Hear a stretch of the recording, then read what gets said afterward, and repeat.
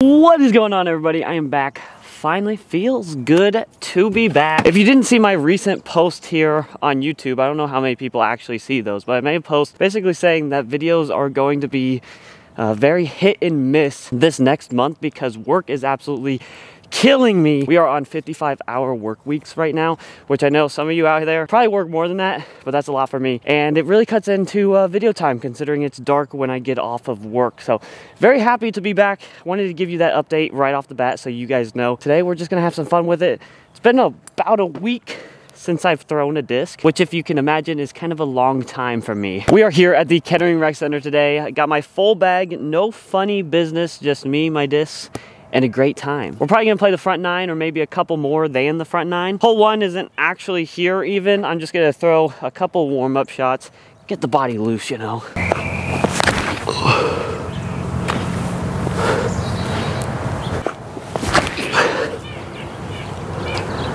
You know, I kind of hate not uploading at least two or three times a week.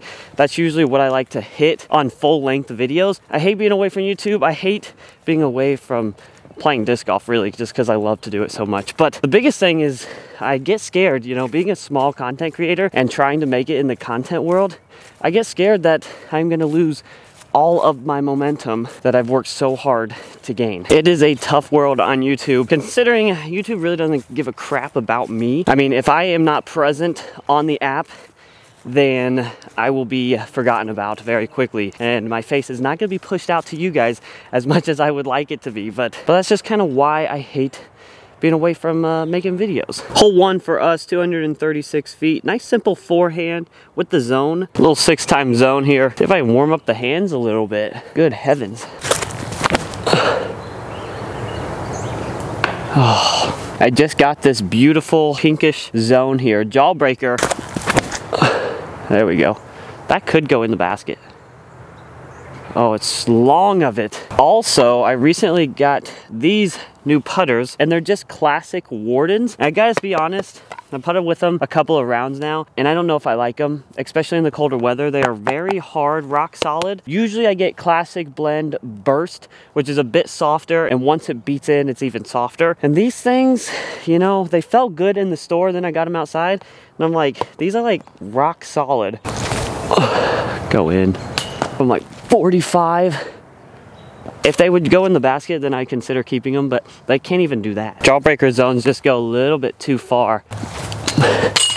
oh, spun it in there. Hole two here for us is 265 feet. I'm actually zoomed in on the basket, but it's really hard to see. I usually like going forehand here, so we're gonna go with the Nate Sexton Firebird. Hit the gap on the left side and hope we get a good skip to the right. Just to get through these trees is a bit difficult, but if you can get through them, you should get a good skip. Yes, that's so good. If it has the distance. There's the skip. Let me know down in the comments, now that we're getting into the colder season, are you guys still playing disc golf? Do you play in the snow? That's my real question here, actually. Once it starts snowing, are you out there still grinding, still playing disc golf? I have before. It's terrifying because you feel like you're gonna lose a disc on every single hole, but it usually works out. It's coming up a little bit short, but you know, nothing my new putters can't handle, really. Twice or it's luck, three times or it's three times and it's awesome. That's what that is. My game has actually been feeling kind of bad in the recent times that I've played. I felt like I was awful. I couldn't putt, I couldn't drive. Backhands were going everywhere. I'm working on my form still on my backhands, which is what I'm blaming my bad backhand shots on. I can't hit a line right now. Hopefully that gets better. That is my big off-season grind. Hole three, 250 feet. This is really just a nice buzz right down the middle. One thing I hate the most about playing in the morning is dewy grass leading to wet discs. I hate wiping off my discs. I hate it. That is gonna work. I call that the local route, actually. Let's try again with a little envy. Oh, just a little higher. Hit the line that time. This is what happens when you take local routes. You got like a 20 footer. Oh yeah. Must be the new putters. Definitely the new putters. Hole four is up and to the right there, 262 feet. This is really just a time to shine with the zone. We'll go with the ESP zone first. Oh, that is not down the middle. Hyzer, no. That might do it. There we go. Dropped it in there for one. Hole five here, 240 feet.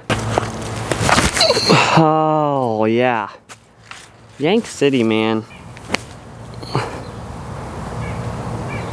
We got hole seven, par three, 301 feet through this tunnel. Best hole at the rec, hardest hole at the rec, I would say. It actually just makes you throw a good line. Some of the other ones, you still have to throw good lines in the woods, but this one's like a legitimate good line, I feel like. Boom! It must be a leopard three. There we go. Get off that tree. Yeah, that's down there at least. Woo, that was buttery. It's always a leopard 3, man. If you're not bagging a leopard 3, what are you doing? This would be just as bad as if you weren't bagging a zone. Think about your life decisions if you don't have either of those in your bag. Just play this leopard 3 shot. Makes us look better than we actually are. Okay, no, no it doesn't.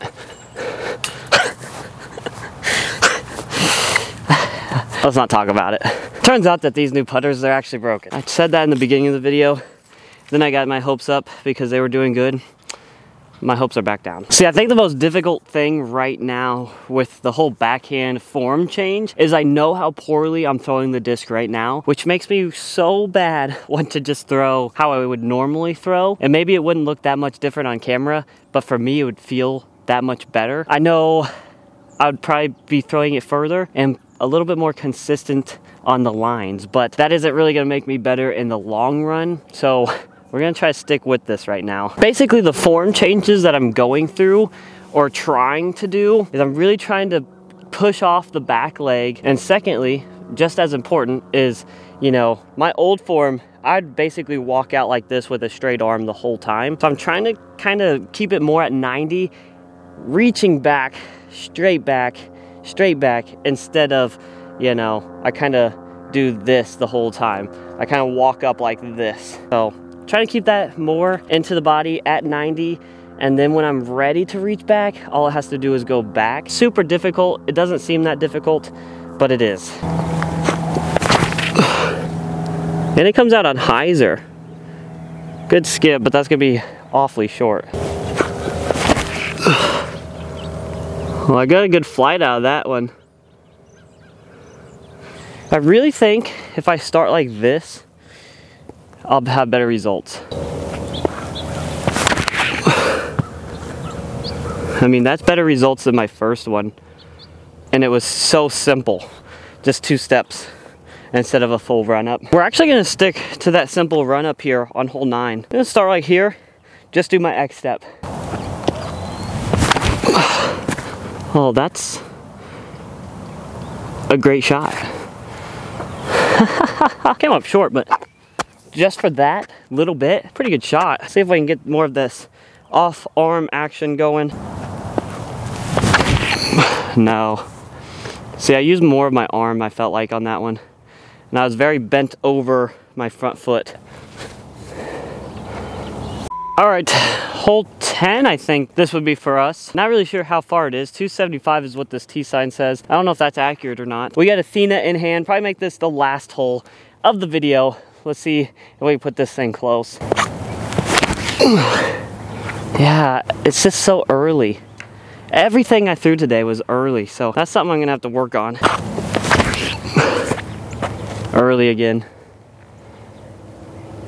Good thing it's the off season. Don't have to be all that great right now. I did it? Oh my goodness. Oh, that first one was so insanely close. All right, guys, that is going to do it for today's video. Kind of some random content for you today. Good to be back behind the camera or in front of the camera, I guess. Good to be making some videos today. Not so good on the playing part though. We're gonna have to work on that. Thank goodness it's the off season. We're here to grind, to try to make the form better, and all in all, hopefully we just become a better player in general. Hopefully you guys enjoy the content. If you do, make sure to hit that like and subscribe button, and we will see you in the next one.